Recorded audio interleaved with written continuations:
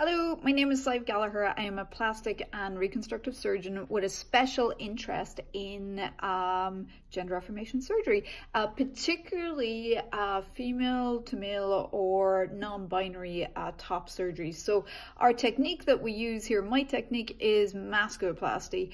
And I've had a lot of questions from some very smart folks asking exactly how do we know um, that masculoplasty is different uh, than regular top surgery and what are the benefits of going drain free. So by popular request, this is a very nerdy video and uh, I know a lot of you guys uh, definitely are capable of keeping up with this. I have patients who are MDs, patients who are scientists, so this should be very easy for you. But by popular request, I'm going to break down our publication in the Annals of Plastic Surgery, which uh, go through and discuss uh, that um, what the masculoplasty difference is. So I hope you enjoy we published in the Annals of Plastic Surgery earlier uh, in the year.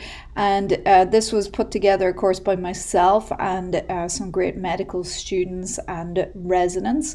And uh, really, in that, what we did was we went back and looked through our patients. So 306 consecutive, meaning one after the other, so we can't skip any bad outcomes. Um, we looked through uh, the results, we examined everybody's chart and uh, saw how they did. So that's what that means. Methods is looking uh, is how we put together. We skipped anybody, we left out anybody who had keyhole surgery because um, that doesn't this technique doesn't really apply. And so um, we describe here how we did the technique. This is where surgeons learn from papers and journals, usually kind of describing uh, our individual steps.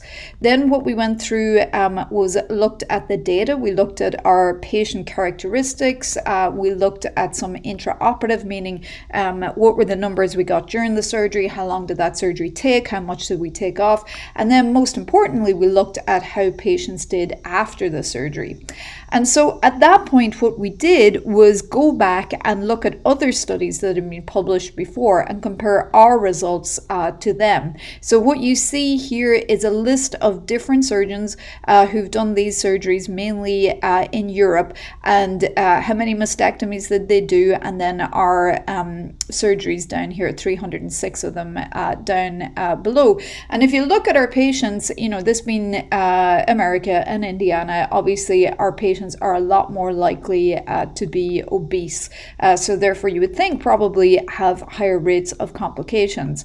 Um, in this surgery, obviously, we took off uh, a lot of weight, um, which would be uh, expected in this group. Our mean was quite high there.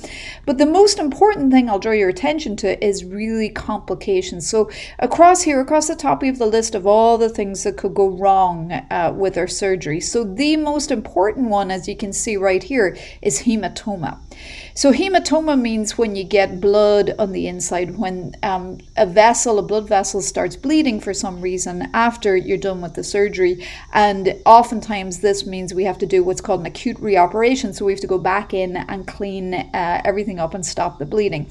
So as you can see, hematoma is the most important complication uh, when it comes to top surgery. Seroma is just a regular fluid collection. It's actually not as high as you would think, but that's the main reason people in drains. Surgical site infection here, acute reoperation we talked about, nipple necrosis, secondary corrections, other complications. Wound dehiscence means wound wounds opening up. So if you look through our results down below, you can see, um, which we're very proud of, we have the lowest hematoma rates. So our hematoma rate, we've had one patient we had to reoperate on, and that was quite early um, in practice. And that patient had actually very high blood pressure, which we think uh, contributed uh, to that patient needing to go back to the, needing to go back to the OR.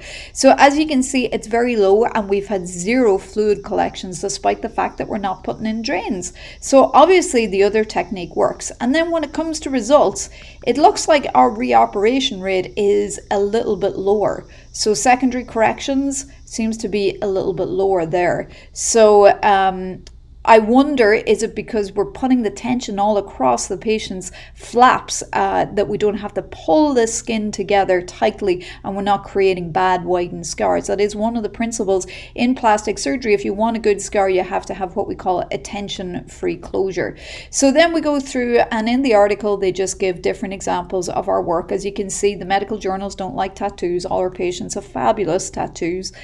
Um, and that's just in summary. So basically, as compared to what we call historical data, a drain free technique is certainly safe and probably superior. And we had statistically significant. Um, differences in the rate of hematoma, the need for uh, operating again, and other uh, complications.